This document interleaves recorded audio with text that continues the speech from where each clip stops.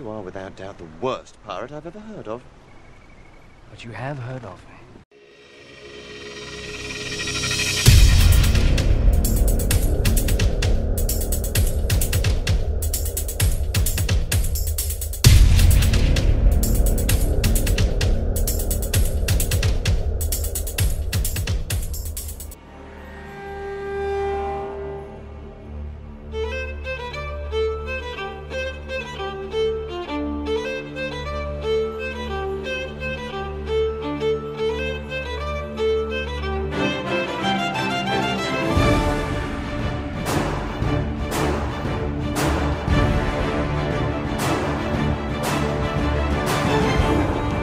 Окей, okay, ако сте си мечтали да си невероятният Джак Спаро от происът на Карибски пирати, вашето желание се сбъдна да кажем наполовина. А като казвам, че е наполовина имам предвид, че присъства чара на пиратския дух. И това е, до там. Наместете се удобно, защото това е моето превю за Sea of Thieves.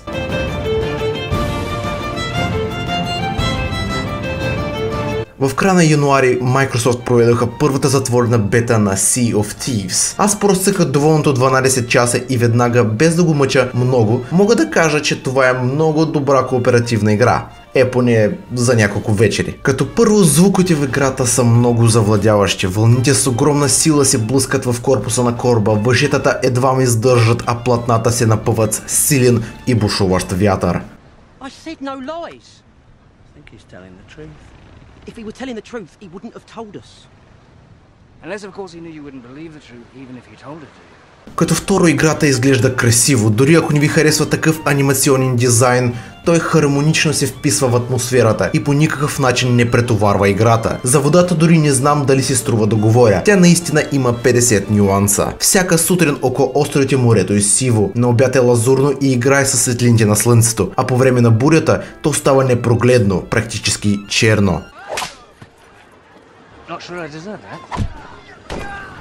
Giselle. Who was she? What? I may have deserved that.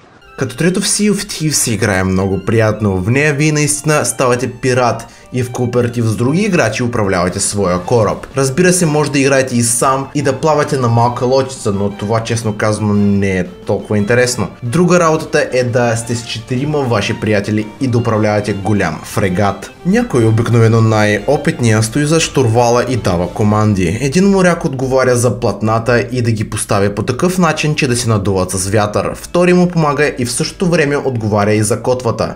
А картата въобще се намира в каютата на капитана. Затова четвъртият играч оттам координира останалите. Звучи лесно, но за добра отборна игра ще трябва да се постараете. Като чухте това какво изобщо да казвам за самите морски битки. При това трябва да се разбере, че Sea of Thieves е далеч от хардкорен симулатор. На разработчите не им е изгодно да плашат basic играчите, но пък за това тънкостите в геймплея са достатъчно. В същата тази буря штурвалът буквално се изплъзва от ръцете, а компаса се подлодява. Но самия кораб няма да се обърне при никакви обстоятелства, дори ако застане с лява страна към 10 метрова вълна. Основната задача тук ще е ясно дори на домашния ви любимец. Трябва да намерите съкровище, да го изкопаете и да го продадете за злато. А бях забравил, а, по пътя си ще трябва да струшите малко скелети. Единствената сериозна заплаха са другите играчи, които може да ви забележат след рейда, когато вече мъкнете съндъка си за продан. В най-лошия случай ще превземат кораби ви, ще ви вземат съндъците, а вие ще отидете за храна на рибите. Какво има след това? Ами, нищо. Това е.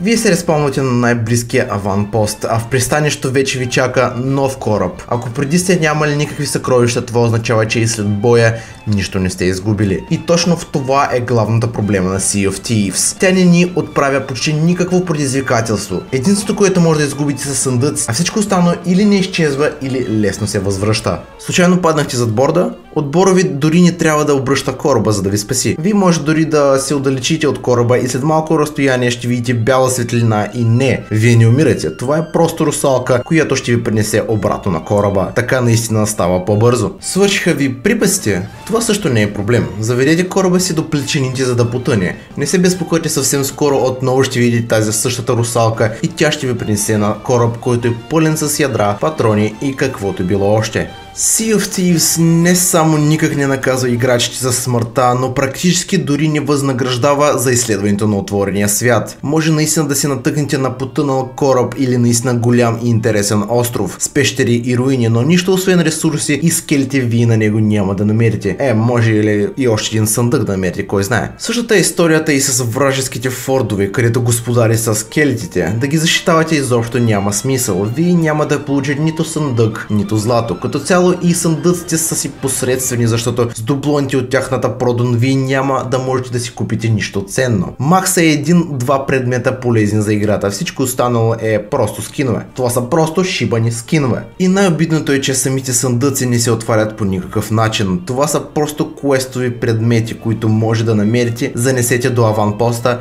и да ги продадете. А да ги отворите, не, nope, mm-mm.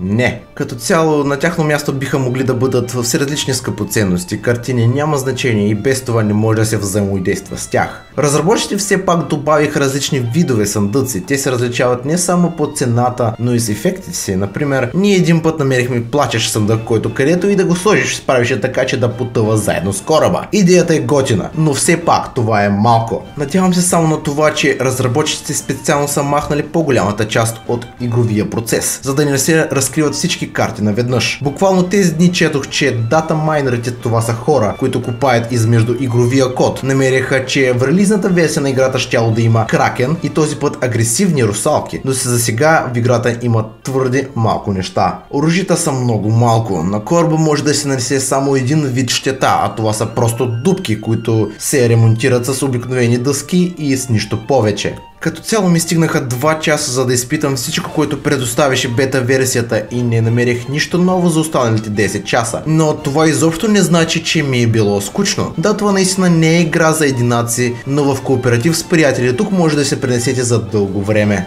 Настрани трябва да отбележа, че Sea of Thieves поддържа Xbox Play Anywhere, който ви позволява да купите играта само веднъж и да играете на конзолата си или на компютъра. От тук идва и крос платформата. Играчите играят на едни и същи сървъри и за съжаление това е единствения положителен аспект на Play Anywhere. Sea of Thieves не е лоша игра. Ако в Microsoft разчитат на търговски успех, в нея ще трябва да се добави още много контент. С вас беше Сасура, поставете един лайк, коментирайте отдолу какви са ви впечатленията от играта, искам да разберам вашето мнение за нея и както винаги, ще се видим в следващото ми видео. On